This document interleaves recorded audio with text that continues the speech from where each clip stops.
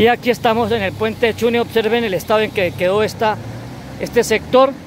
Aquí el acueducto de Popayán hizo unas obras, correcto, pero dejó la cantidad de tierra y eso es lo que ha originado estos enormes cráteres que hay.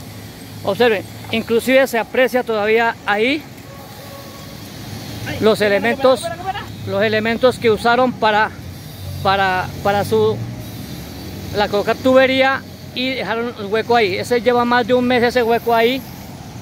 Acueducto no se ha dignado.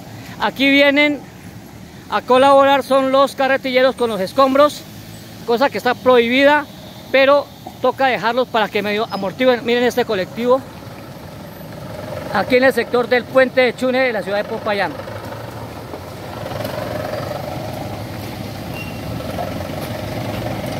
Y observen el tierrero y el barrizal que hay en este sector del mismo lugar. Esperamos que alguna autoridad tome cartas en el asunto. Los vehículos deben turnarse para medio poder pasar. Esto, la aprobación que dio tránsito no es para doble vía, pero movilidad no ha aceptado esta sugerencia.